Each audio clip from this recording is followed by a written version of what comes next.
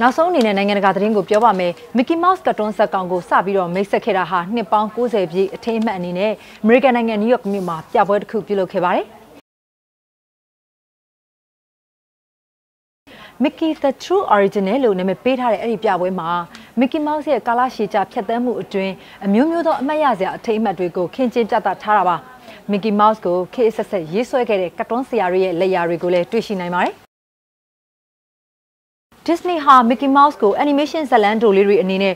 1930ပြည့်လွန်နှစ်တွေမှာစပြီးတော့မိတ်ဆက်ခဲ့ပါတယ်။အဲ့ဒီနောက်မှာတော့ Mickey Mouse ဟာကုမ္ပဏီရဲ့အဓိကပုံရိပ်အနေနဲ့သာမကဘဲနဲ့ကမ္ဘာကတ်တွန်းလောကရဲ့ရှေ့ဆောင်ဇာတ်ကောင်အနေနဲ့ပါအကြီးအကျယ်အောင်မြင်လာခဲ့တာပါ။အခုပြပွဲအစီအစဉ်မှာတော့ Mickey Mouse ရဲ့အစောဆုံးခေတ်ဟောင်းကတ်တွန်းတိုလေးတွေကိုပါပြသထားပါတယ်။လာရောက်လေပတ်သူတွေအမှတ်တရဓာတ်ပုံရိုက်နိုင်မဲ့နေရာတွေအများအပြားကို Disney ကစီစဉ်ပေးထားပါတယ်။